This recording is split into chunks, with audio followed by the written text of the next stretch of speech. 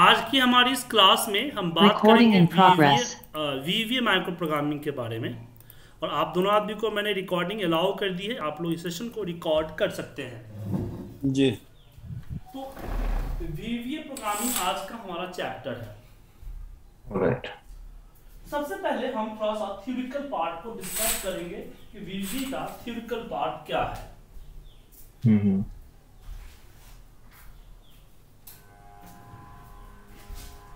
तो सबसे पहले जानते हैं कि वीवीए होता क्या है। उसके बारे में थोड़ा सा।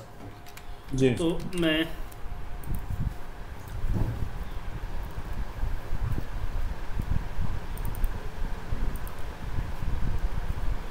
तो वीवी वीवी का फुल फॉर्म होता है visual basic for application visual basic for application अब इस चीज़ को जानिए कि वीवी जो है वो विजुअल वीवी जो है वीवी नहीं है। वीवी सिक्स या वीवी स्टूडियो नहीं है। वीवीए जो है, एक खुद का लैंग्वेज है। क्योंकि वीवी सिक्स वीवी स्टूडियो की मदद से आप जो है, नए एप्लीकेशन क्रिएट करते हैं।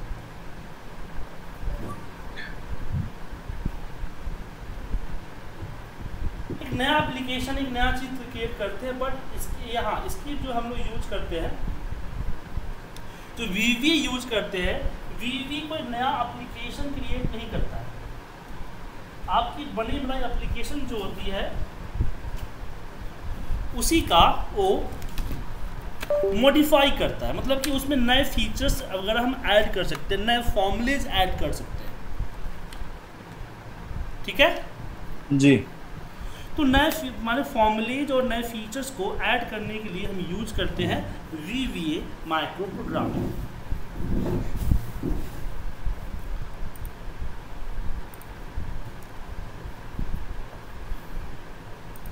अब इसके बारे में हम जानते हैं कि इससे हम आ, क्या क्या बनाएँगे वी प्रोग्रामिंग से हम क्या क्या चीज़ें बना सकते हैं। अगर मान लीजिए कि वी एक वी एक ए है।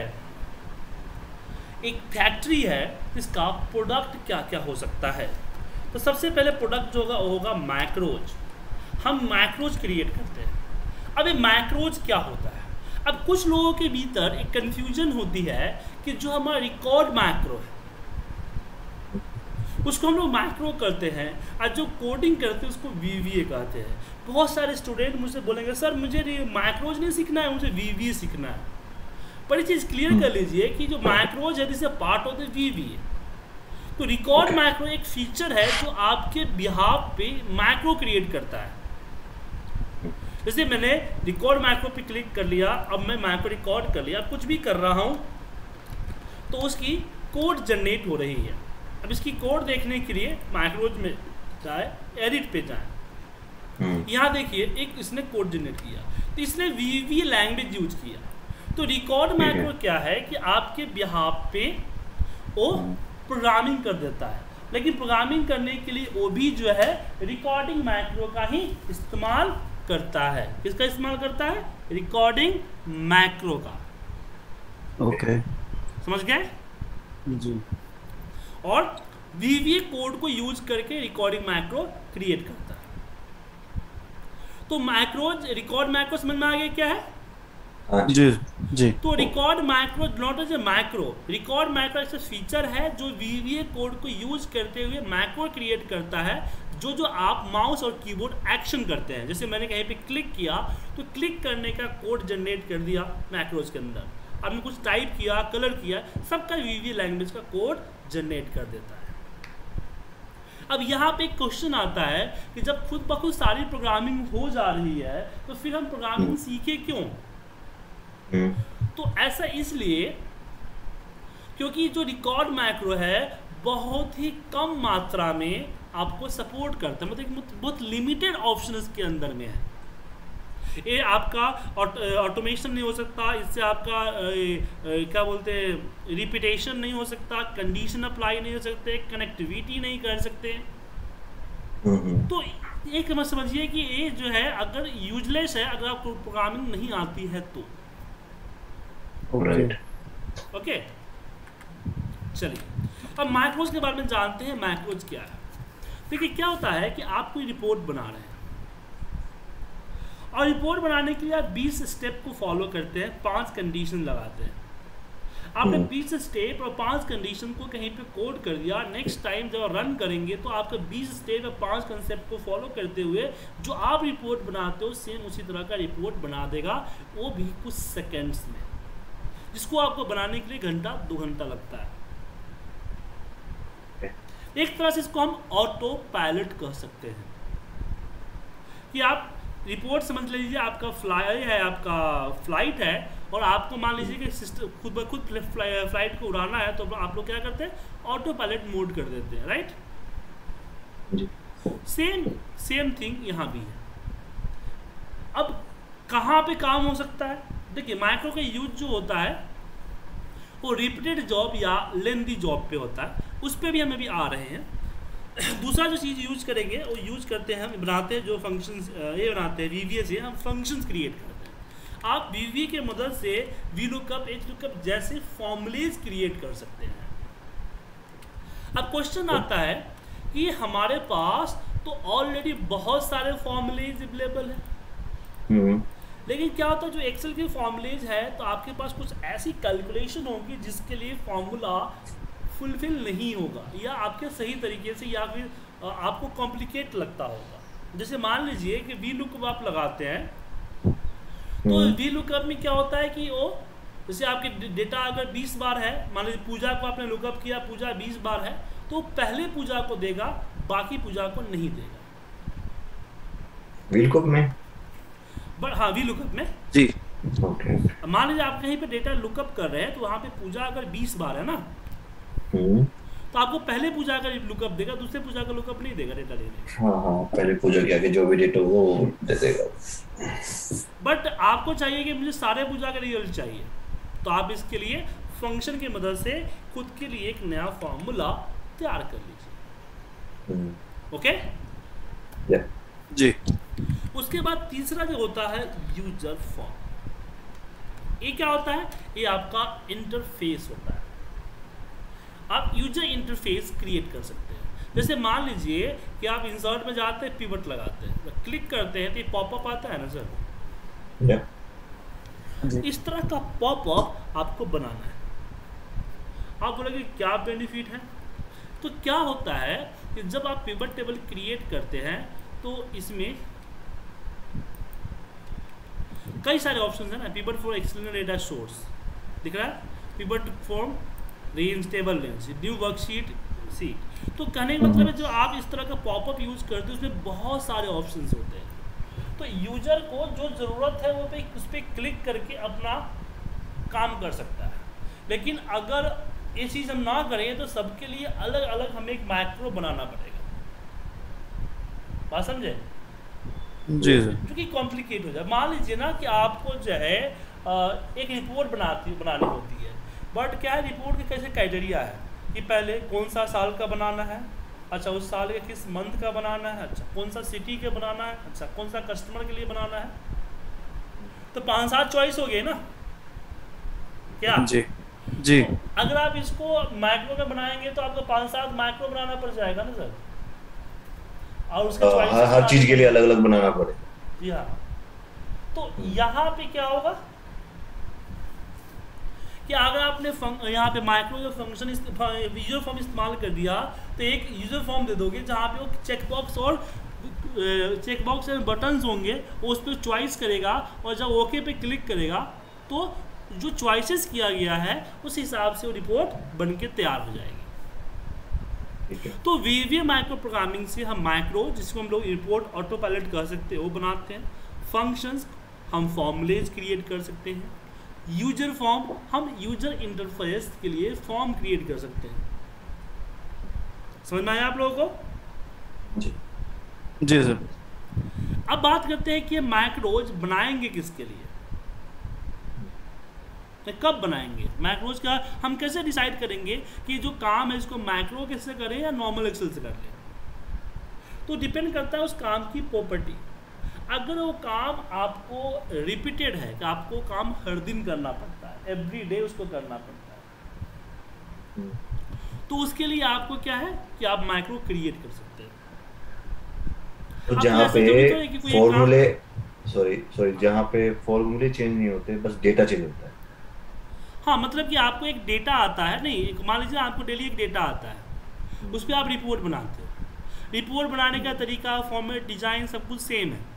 बस डेटा से इन्फॉर्मेशन लेके आपको फिल कर देना। हम्म, बात समझे?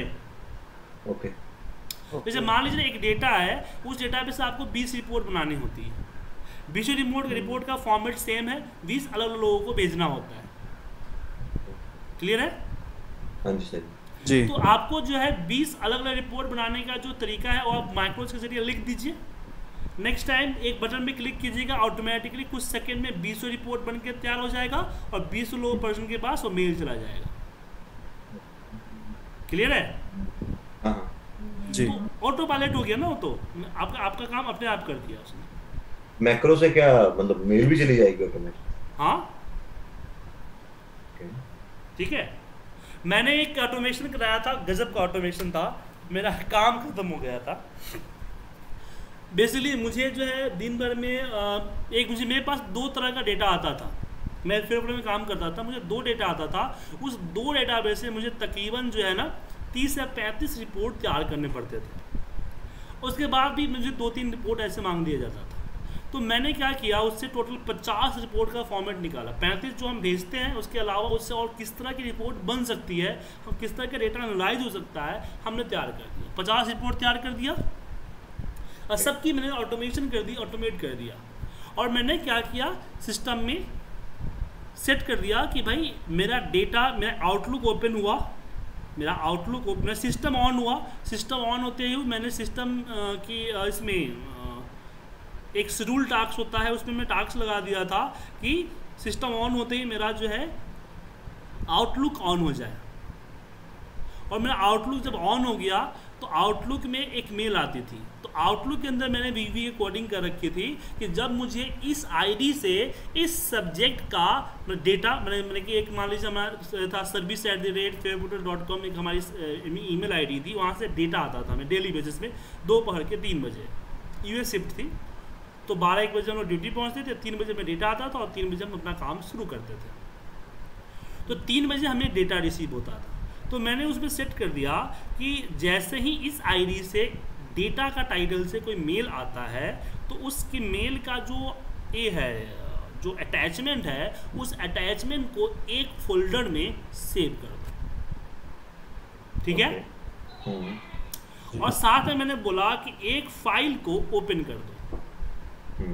और उस फ़ाइल के अंदर हमने कोडिंग कर रखी थी कि तुम जैसे ही मेरा फ़ाइल ओपन होगा उसके अंदर कोडिंग थी कि जब ये फ़ाइल ओपन हो तो ऑटोमेटिकली इस फोल्डर से इस डेटा को उठाए और इस डेटा के ऊपर रिपोर्ट बनाना शुरू करके एक फोल्डर में सारे रिपोर्ट्स को रख दें और बाकी सभी को मेल कर दें आउटलुक के थ्रू ये काम सारा ऑटोमेटिक होता था कि जैसे ही मेरा आउटलुक ओपन हुआ, जैसे मुझे मेल आया सिस्टम ऑन हुआ आउटलुक ओपन हो जाता था। जैसे ही मेल आया मेल आते ही हमारा जो अटैचमेंट है उस मेल का एक फोल्डर में चला जाता था। साथ में एक मेरी रिपोर्ट फ़ाइल ओपन हो जाती थी। रिपोर्ट फ़ाइल के मैं प्रोग्रामिंग इसमें इवेंट माइक्रो प्रोग्रामिंग कर रखा था यहाँ पे। यहाँ पे प्रोग्रामिंग होती है। This workbook era open workbook open work open यहाँ पे प्रोग्राम कर दिया कि भाई बीसों के बीस रिपोर्ट तुम बना दो। बीस रिपोर्ट बन गई, उसके बाद फिर उसमें कोडिंग था कि बीसों रिपोर्ट को, हर रिपोर्ट को जिसे उसको भेजना है उसका पूरा सेट था डेटा उसको मेल कर दो। मेल हो जाता था। तो मेरा मेल आते ही मेरा कंप्यूटर काम पे लग जाता था और 50 रिपोर्ट बना के 50 पर्सन को, जो भी पर्सन है, उनको मेल कर देता था। वो भी कुछ मिनट्स में। जिसके लिए मुझे पूरा शाम तक काम करना होता राइट? अब मेरी प्रॉब्लम आ गई कि अगर मैंने सारा चीज़ ऑटोमेट कर दिया और मेरी टीम को पता चल गया तो टीम तो मुझे फिर दूसरा काम दे देंगे। जी। जी। अब दूसरा काम अगर कोई दे देंगे तो फिर दिक्कत होगा मुझे करना पड़ेगा। अब मैं कोई कोई कोई काम चोर तो था नहीं मैं कि मेरा एक आदत थी कि हर काम को वेलकम करता था जैसे मैं आपके हर क्वेश्चन को वेलकम करता हूँ क्योंकि हर काम मेरे लिए कोई नई अपॉर्चुनिटी आती थी लेकिन मैं काम अपने हिसाब से करूँगा। तो मैंने क्या किया आउटलुक जब मेल जाता था तो उसमें मैंने आउटलुक जब मेल्स मेल करते हैं तो उसमें एक होता है डिले डिलीवरी का ऑप्शन होता है। तो मैं इस बीवी के थ्रू डिले डिलीवरी में हर मेल में आधे घंटे का गैप कर दिया टाइम सेट कर दिया। आउटलुक के ज़रिए आप मेल जब भेजते हैं उसमें डिले डिलीवरी का ऑप्शन होता है कि भाई इतना ये मेल इतने तारीख इतने टाइम में इतने इस डेट को इतने इतने टाइम पे मिले। उस टाइम पे आपका आउटलुक खुला है तो ऑटोमेटिक मेल चला जाएगा। तो सारे मेल कंपोज करके मेरे आउटबॉक्स में चला जाता था। आउटबॉक्स में शेड्यूलर लगा हुआ है कि किस कौन सा मेल कित, कितने टाइम पे भेजना है। वो टाइम पे भेजता था। तो बॉस को पता चल रहा है कि सुजीत रिपोर्ट बना के भेज रहा है। और हम क्या कर रहे हैं? हम अपने ऑफ़िस में घूम रहे हैं और हम देख रहे हैं कि किसको प्रॉब्लम है किसकी प्रॉब्लम क्रिटिकल है इसको हम सॉल्व करें। और सबों का काम उठा उठा के उस काम को ऑटोमेट कर रहे हैं। डेढ़ साल तक लोगों को पता नहीं चला मेरी इस काम को। डेढ़ साल बाद मैं गाँव में छुट्टी पे आया। अब मेरी जगह पे जो काम कर रहा था, उसको मैं बता के आया था, करना है सीक्रेट वो वो भी छुट्टी पे चला गया। अब कुछ रिपोर्ट्स जो थी इंपॉर्टेंट थी, हर दिन भेजनी ही भेजनी है। हमारे बॉस ने बोला कि, सुजीत, ये रिपोर्ट कैसे जाएगा? कैसे बनेगा? बता दो, समझा दो इसको फ़ोन पे। हमने बोला, समझाना कुछ नहीं है मेरा कंप्यूटर ओपन कीजिए। हाँ ओपन कर दिया। आउटलुक ओपन हुआ, हो गया। वेट कीजिए मेल आएगा। संजोग से उस समय उसी समय मेल आ गई। और मेल आते ही मेरा कंप्यूटर अपने आप काम करना शुरू किया और मुश्किल से तीन या चार मिनट में मेरा काम ख़त्म कर दिया। बॉस के मुँह से निकलता निकला एक ही आवाज़ निकला जब तुम्हारा काम तीन चार मिनट में हो जाता है तो पूरा दिन करता क्या था? जी। तो ये चीज़ें ऑटोमेशन से की जा सकती है। अब यहाँ पे क्वेश्चन आता है कि मैंने जो स्टोरी सुना दी तो क्या हंड्रेड परसेंट ऑटोमेशन हो सकता है? देखिए वीवीए में हंड्रेड परसेंट ऑटोमेशन का कमिटमेंट नहीं कर सकते। जैसे मान लीजिए कि आपको कुछ नाम अलग करना है, जैसे यहाँ पे हमने लिख दिया सुजी, यहाँ पे सुजीत कुमार। अब चाहते हैं कि सुजीत को अलग कर दे, कुमार को अलग कर दे। तो आपको बताया कि हाँ स्पेस से अलग स्पेस से लेफ़्ट वाले को लेफ़्ट में रख दो राइट वाले को राइट में रख दो। लेकिन अगर इसके बीच में कोई अगर स्पेस नहीं है तो क्या होगा? समझ पाएगा? कि सुजीत कौन सा है कुमार कौन सा है? वो तो छोड़िए राम जी राम। आप बताइए इसमें कौन फ़र्स्ट नेम है कौन सेकेंड नेम है? ऐसे साउथ के नेम है। हम्म, क्या? तो ये तो ऑटोमेशन नहीं हो सकती ना। तो कहने का मतलब है जिस पे कोई लॉजिक नहीं है जिस पे कोई कंडीशन नहीं है उसको वीवीए क्या आप मैनुअल भी करेंगे तो आप दस में से आठ को गलत करेंगे। समझे? तो हंड्रेड पर अब बात होती है कि अब इसमें चीज़ होती है कि मान लीजिए कि आपका हंड्रेड परसेंट ऑटोमेशन ना हो एट्टी परसेंट ऑटोमेशन हो जाए तो आपकी एट्टी परसेंट का टाइम सेव हो गया ना।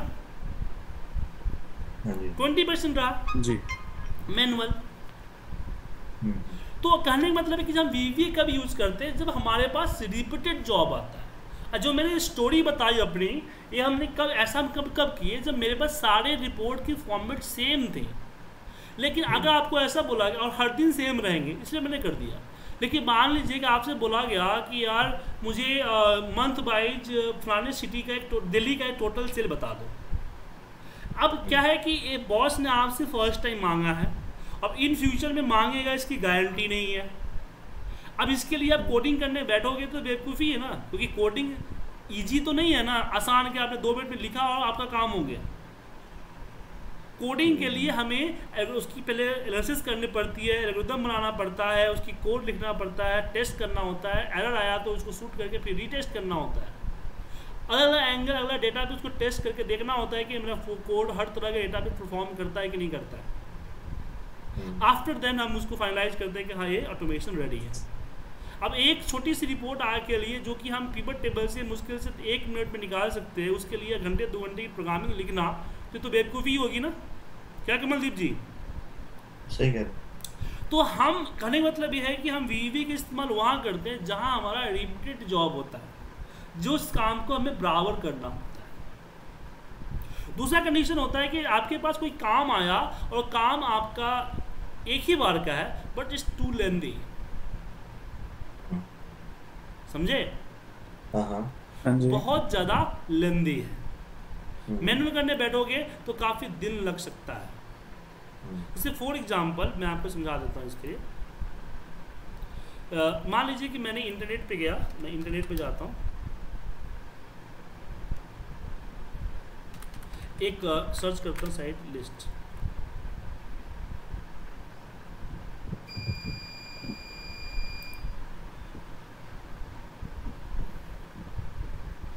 ये रहा दिख रहा है हम्म, हमने इसको कॉपी कर लेते हैं।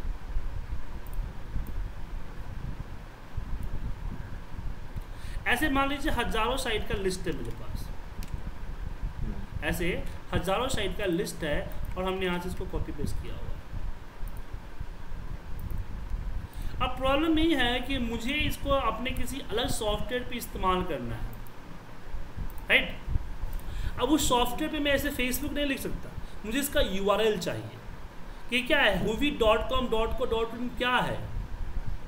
दिख रहा है सर तो हमें क्या करना होगा? इस पर राइट क्लिक करना होगा एडिट हाइपरलिंक पे जाना होगा और यहाँ से नीचे इसकी हाइपरलिंक कॉपी करके और फिर यहाँ पे इसको पेस्ट करना।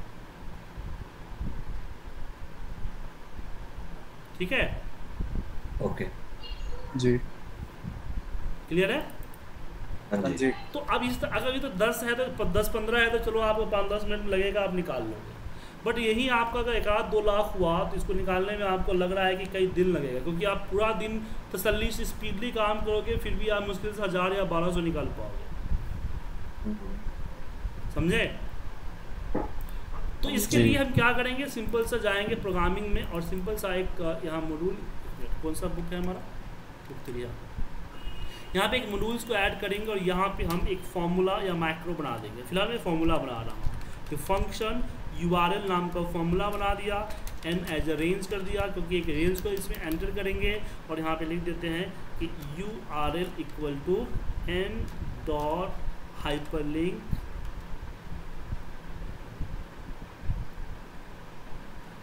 dot link यहाँ पे वन डॉट एड्रेस ठीक है? अब यहाँ पे मैं यहाँ यू लगाता हूँ। और नीचे ड्रैग अब कई दिन का काम हमने कुछ सेकेंड्स में कर लिया ना सर हम्म, क्या? हाँ जी। हमने कई दिनों का काम कुछ सेकेंड्स में कर लिया। तो this is the V V macro programming का जो है यूज़ है। कि हम प्रोग्रामिंग का यूज़ करते हैं कब? जब हमारे पास job हो या रिपीटेड काम हो। अब बात आती है किसके लिए बना है? देखिए क्या है कि आप वी वी माइक्रो प्रोग्रामिंग में जब माइक्रो सिक्योरिटी में जाते हैं तो आपका डिफ़ॉल्ट सिक्योरिटी डिसेबल होता है। डिसेबल विथ नोटिफिकेशन इसका मतलब है कि अगर आप आपने कोई माइक्रो वाली फ़ाइल ओपन की तो आपका जो फ़ाइल है डायरेक्टली परफॉर्म नहीं करेगा। वो वहाँ पे एरर शो करेगा। समझे? हम्म, आपको एक एरर एरर नहीं मतलब कि एक इवेंट एक जब भी फ़ाइल ओपन करेंगे तो आपको दिखाएगा इवेंट अनेबल माइक्रो का एक पॉपअप देगा सिक्योरिटी वार्निंग करके। हाँ जी हाँ जी आता है। आता है ना? अब जैसे आप तो जान आप मान लीजिए आप वीवीए सीख रहे हैं या सीख चुके हैं जो लोग वीवीए को जानते हैं तो समझ जाएँगे कि इसमें वी माइक्रो का यूज़ किया गया है। चलिए इसको यूज़ कर इसको कर लेते हैं मतलब कि अनेबल कर देते हैं। लेकिन जो फ़र्स्ट टाइम यूज़ कर रहे होंगे इनको पता नहीं है माइक्रो के बारे में वो तो कहेंगे यार इसमें तो वायरस आ गया। यही बोलेंगे ना सर हाँ जी। हेलो हाँ जी सर करो। यही बोलेंगे कि यार इसमें तो वायरस इसमें तो वायरस आ गया। हम्म, हम्म, हम्म, और उसको चेंज करेंगे तो आप अब मान लीजिए कि आपने 200 लोगों को मेल भेजा है। आपने 200 लोगों को मेल भेजा है। अब 200 लोगों में से पता चला कि 80 लोग या 100 लोग या 120 लोग जो है इस चीज़ को नहीं जानते। माइक्रोज को नहीं जानते। तो क्या होगा? आपको उन लोग आपका फ़ोन आएगा यार तुमने फ़ाइल भेजा तो उसमें वायरस लग रहा है। या फिर आपको समझाना पड़ेगा कि भाई इसमें माइक्रोज है इसमें माइक्रोज है आपको अनेबल माइक्रो करना पड़ेगा प्लीज़ ये दोनों चीज़ आपके लिए क्रिटिकल होगा ना सर लेंदी होगा सरदर्दी होगी ना सर तो मैं हाँ अपने स्टूडेंट को ये सलाह देता हूँ कि आप ऐसे फाइलों पे माइक्रो डालने से बचिए जिसको पब्लिकली कई साल लोगों में ट्रेवल करना है। ऐसे ऐसे फाइलों पे हम ऐसी फाइलों पे हम कुछ ना करें। क्यों? क्योंकि अगर आप इस तरह की फाइलों पे काम करते हैं तो प्रॉब्लम क्या होगी? आपको प्रॉब्लम हो सकती है, आपको थोड़ा सा अनकंफर्टेबल हो सकता है माइक्रो इस्तेमाल करना। इसलिए जब तक बेहद ज़रूरी ना हो, तब तक आप माइक्रो का इस्तेमाल कई सारे लोगों को भेजे जाए माइक्रो पर ना करें। या फिर जब तक आप कंफर्म ना हो कि आप जिस जिसको फ़ाइल भेजोगे, उन सभी के पास माइक्रोज का एक्सेस होगा। मैं की नॉलेज होगी। ठीक है? ओके क्लियर है? हाँ जी। जी। समझ में आया सर कि नहीं? हाँ जी। आ रहा है। हाँ अगर आप अपने लिए कोई मैक्रो बना रहे हो तो आप धरले से इसका इस्तेमाल कर सकते हो। कोई प्रॉब्लम नहीं। अब बात करते हैं कि मैक्रो शुरू करने से पहले हमें किन किन बातों पे ध्यान देना सबसे पहले तो आपके पास नेविगेशन के लिए डेवलपर टैब होना चाहिए। अगर डेवलपर टैब नहीं है तो फ़ाइल में जाइए ऑप्शन पे जाइए और कस्टमाइज रिबन में आप डेवलपर का टैब एनेबल करिए। बाय डिफ़ॉल्ट डिसेबल होता है आपको खुद से एनेबल करना पड़ेगा। ओके आप डेवलपर टैब में आपका विजुअल बेसिक होती है जिसपे आप कोड लिखते हैं। इनको इंस्टॉल करने की ज़रूरत नहीं पड़ता है पहले से इंस्टॉल होता है। बस आपको एनेबल करना है। अल्ट एफ़ लेवल शॉर्टकट करते ही, आपका यहाँ पे माइक्रो कोड का विंडो खुल के चला आता है। लेकिन उससे पहले दो चीज़ें करनी होंगी। सबसे पहले अपना माइक्रो माइक्रो सिक्योरिटी जो है माइक्रो सिक्योरिटी को एनेबल करना होगा। अब यहाँ पे क्वेश्चन आता है कि माइक्रो जितना ज़रूरी है तो माई डिफ़ॉल्ट डिसेबल क्यों कर रखा है माइक्रोसॉफ्ट ने? देखिए, अगर आप अनेबल इसलिए कर रखा है क्योंकि माइक्रोस के फॉर्म में कोई वायरस आ सकते हैं। इसलिए यहाँ पे दिख दिख भी रहा है ना, दिखा रहा है ना? डेंजर कॉन कैन रन दिख रहा है not recommended dangerous call dangerous code can run तो जब आपने इसको अनेबल कर लिया तो एक चीज़ का ध्यान रखना होगा कि ऐसे फाइलों को ओपन ना करें जो अननोन हो और माइक्रो कंटेन कर रखे ओके तो ऐसे फ़ाइल को हम कैसे पता करेंगे कि भाई कि ये अननोन है और माइक्रो कंटेन कर रखा तो जब आप फ़ाइल देखेंगे देखिए ये जो फ़ाइल दिख रहा है डैशबोर्ड फोर दिख रहा है ना सर ये माइक्रो अनडिसेबल फ़ाइल है मतलब कि एक्सलेस एक्स की फ़ाइल है। इसमें हंड्रेड परसेंट माइक्रो नहीं। समझे? जी सर लेकिन जो ए फ़ाइल आपको दिख रही है ना जिसमें इस तरह का ये स्पेशल मार्क का एक चिन्ह लगा हुआ है तो ये फ़ाइल ऐसा है जिसमें माइक्रो होगा। लेकिन ये भी हंड्रेड परसेंट श्योर नहीं कि माइक्रो होगा क्योंकि इसका एक्सटेंशन है डॉट एक्सलेस एम अब एक्सलेस एम जो है वो नॉर्मल डेटा भी कैरी करती है और माइक्रो भी कैरी करती है। दोनों कैरी कर सकती है। तो इसमें. माइक्रो भी हो सकता है और नहीं भी हो सकता है। क्लियर है? हाँ जी। तो डॉट यहाँ पे इसका एक्सटेंशन क्या होता है? Dot XLS M M for macro M लेकिन एक तीसरा जो है ये आपका कहाँ गया? इस तरह का आइकन दिख रहा है आइकन सर कौन सा? ये आइकन होता है होता है माइक ये होता है डॉट एक्सलेस ए मतलब कि आपको एक्सेल एड इन्स क्या होता है? एक्सेल एड इन्स और ये हंड्रेड परसेंट श्योर है कि इसके अंदर माइक्रो होगा। सिर्फ़ माइक्रो होगा हंड्रेड परसेंट समझे? हाँ जी। आप अगर किसी ने आपको ये फ़ाइल भेजी डॉट एक्सलेस ए की फ़ाइल भेजी जिसका आइकन इस तरह का है तो आप उस फ़ाइल को रन करने से पहले सोच ले कि अन कोई अननोन पर्सन ने भेजा है तो इसमें कुछ हार्मफुल कोड हो सकते हैं। तो रन करने से पहले आप अपना ध्यान लें आप रेडिक्स पे रन करें। ठीक है सर? जी सर। जी। ये आपका माइक्रो अनेबल करने से पहले इस चीज़ के बारे में सोचना होगा। हम्म। राइट ओके दूसरा होता है कि जब आप फ़ाइल पे कोड लिखने से पहले फ़ाइल को सेव करेंगे यहाँ माइक्रो अनेबल वर्कबुक में। क्योंकि डिफ़ॉल्ट आपका फ़ाइल सेव होता है. डॉट एक्सलेस एक्स में। तो कोड लिखने के बाद उसको आपने. डॉट एक्सलेस एक्स कर दिया कर दिया ना? तो उसमें क्या होगा? उसमें कोड जाएगा जब बंद करेंगे कोड बंद हो जाएगा अगर मतलब जब दोबारा खोलेंगे तो वो कोड रन नहीं करेगा मैक्रो का हाँ। खत्म हो जाएगा। तो सेव करते ही आपके माइक्रोज को डिलीट कर देगा और दोबारा उसको रिकवर नहीं किया जा सकता। ऐसी गलती होती है। क्या होता है ना सर हम एक साइड हम क्या करते हैं? घंटों दो घंटे लगा के एक माइक्रो एक ऑटोमेशन करते हैं। जब वो रन हो जाता है हम खुश हो जाते हैं। और खुशी के मारण हम ये भूल जाते हैं कि डिफ़ॉल्ट फ़ाइल हमारा एक्सएलएस एक्स है एक्सएलएस एम नहीं है और हम उसको सेव कर देते हैं।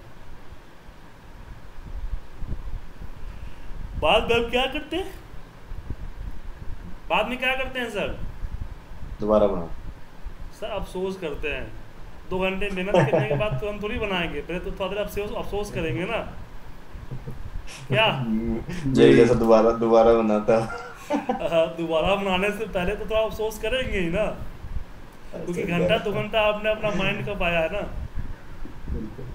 चलिए तो इसका एक सोल्यूशन है। सोल्यूशन क्या है कि फ़ाइल में आप जाएँ ऑप्शन पे जाएँ सेव पे जाएँ। और यहाँ आप माइक्रो अनेबल वर्कबुक को चूज़ कर लें। तो डिफ़ॉल्ट आपका फ़ाइल जो है कंट्रोल एस करते ही माइक्रो अनेबल वर्कबुक ही रहेगा। ठीक है सर? सही है सर। जी।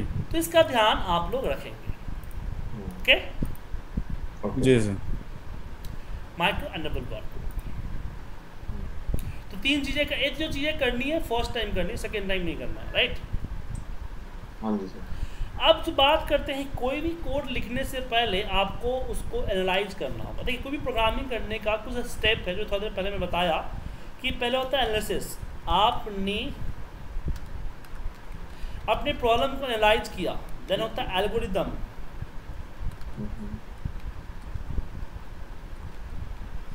ठीक है? एल्गोरिदम आप उसकी एल्गोरिदम तैयार करेंगे देन आप करेंगे कोड फिर करेंगे टेस्ट फिर करेंगे recode this is algorithm code test test okay then करेंगे रीटेस्ट कब तक? जब तक कि आपका माइक्रो सही से परफॉर्म नहीं करता है। देन करेंगे अप्लाई तो पहले आप प्रॉब्लम को समझेंगे। समझने के बाद उसका एक सीधा साधा एक रूट तैयार करेंगे जिसको हम एल्गोरिदम कहते हैं। स्टेप कि हाँ मैं पहले मुझे ये करना है फिर उसके बाद ये करना है उसके बाद ये करना है इसके बाद ये करना है राइट देन Okay. उसके अकॉर्डिंग आप कोड करेंगे लाइन बाय लाइन फिर कोडिंग को टेस्ट करेंगे। कोडिंग को टेस्ट करने के बाद अगर परफॉर्म हो गया तो अप्लाई कीजिए मतलब कि आप उसको ओके कर दीजिए। Otherwise recode retest recode recode test recode retest जब तक कि 100 परसेंट आपका वर्क नहीं हो जाता एरर एरर शूट आउट नहीं हो जाता। एग्ज़ाम्पल के लिए, जैसे मान लीजिए मुझे यहाँ पे नेम रोल नंबर और मार्क्स लिखने राइट तो इसका हम इस तरह स्टेप तैयार करेंगे कि start select A one enter name select C1 enter roll.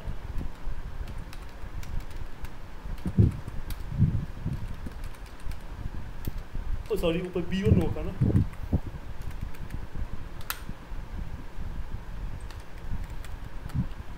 Enter marks अब सोच रहे होंगे, सर ये क्या करना पड़ेगा? इसको क्या लिखना होता है पता ही है, मुझे ए वन में सिर्फ़ नाम लिखना है। तो कहने का मतलब है कि हम इसको एक सिंपल एग्ज़ाम्पल में बता रहे हैं। अगर मान लीजिए कि रुपेश जी को कोई प्रॉब्लम है उन्होंने बताया कि सर मुझे यहाँ जाना होता है इस डेटा को कॉपी करना होता है यहाँ पे पेश करना होता है यहाँ पे ऐसे करते हैं वैसे करते हैं। सर दिमाग में इतना थोड़ी समेगा रुपेश जी को याद है क्योंकि वो कई सालों से उसको बना रहे हैं। तो हमें बनाने के लिए उसका स्टेप लिखना होगा ना सर? तो रुपेश। जी। बताते जाएँगे और हम इस तरह के स्टेप क्रिएट करते जाएँगे। और इसी स्टेप से हम आगे कोड करते चले जाएँगे कि इस इसका कोड ये होता है इसका कोड ये होता है इसका कोड ये होता है इसका कोड ये होता है। दूसरा इसमें स्टेप जोड़ी है जैसे कि मैं अगर आपने आपको स्टेप सही से ना पता हो आपने कहा कि एंटर नेम का कोड पहले डाल दिया और सिलेक्ट करने का कोड बाद में डाल दिया तो दिक्कत हो जाएगी ना सर?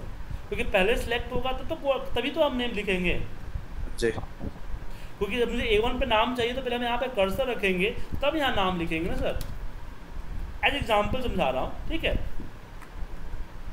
तो स्टेप चाहिए एल्गोरिथम लिखने से क्या होता है? स्टेप पता चल जाता है कि इसके स्टेप्स ऐसे हैं। और हम पहले इसका रूट मैप तैयार कर लेते हैं। इसका एक दूस- एक दूसरा फीचर भी है। दूसरा क्या है? कि इसमें ये होगा कि आपने एल्गोरिथम लिख लिया तो आपको पता चल जाएगा कि इसमें किसका कोड मुझे नहीं आता है। जिसका कोड आपको नहीं आता है क्या करेंगे आप? उसको रिसर्च कर लेंगे कि हाँ इसका कोड मुझे नहीं आता है इसको थोड़ा सा रिसर्च कर लेंगे। ठीक है। ठीक है सर ओके तो इस पे आज जो मैंने थ्योरिकल पार्टी बताई उसको एक बार वीडियोज़ को दोबारा से रन करके सोच लीजिएगा समझ लीजिएगा। और कल की क्लास लेने से पहले आपको एक दो घंटा टाइम निकालना होगा। किसके लिए? एक आर्टिकल पढ़ने के लिए। ये तो मेरा वेबसाइट है। Excel Excel dash course dot it मैंने वेबसाइट नया बनाई है सो है। Excel dash V V A dot com Excel dash V V A dot com ठीक है? हम्म इसमें आर्टिकल है। इसका लिंक दे दोगे? सिंपल है सर याद हो जाएगा sir. Excel dash B B A dot com इसमें कुछ भूलने वाली बात है? नहीं बोलने वाली तो नहीं है। फिर याद रहेगी आप। एक्सल डैश बी बी ऐसे रिकॉर्डिंग में आएगी होगी आपकी। चलो यहाँ हाँ हम हाँ। ये मेरा आर्टिकल आप बता दो ये मेरा वेबसाइट नहीं है।